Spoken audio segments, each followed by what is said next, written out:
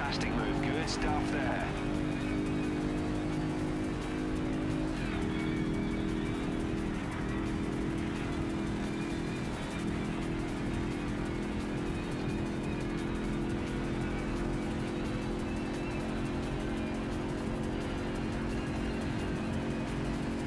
You're up to seventh place. Sixth place isn't far away.